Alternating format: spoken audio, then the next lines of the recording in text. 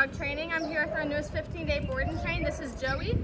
He is a year-old golden retriever. He came to us just because he likes to pull on the leash a bit. Um, doesn't really listen to the commands that he does know, just needs some basic manners. So let's just see what he does know.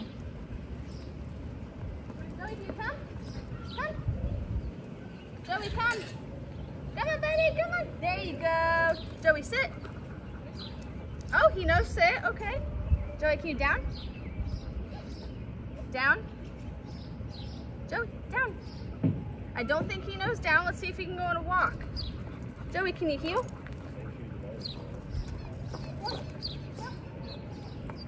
He's a little bit distracted by everything that surrounds him. He doesn't really know heel. Um, we do got sit, so that's a little bit of a start. Just got to build duration on that. Good sit. Um, so just check back in in 15 days to see Joey's transformation, and thanks for choosing Bulletproof.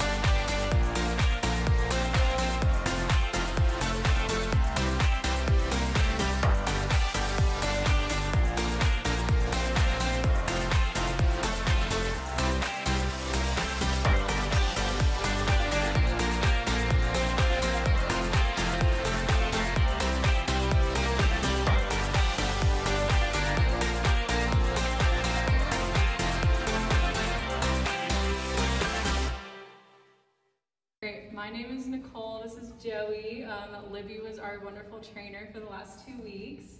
Um, I cannot believe how well mannered he is now. He is so smart, and thanks to Libby, he is actually listening to me.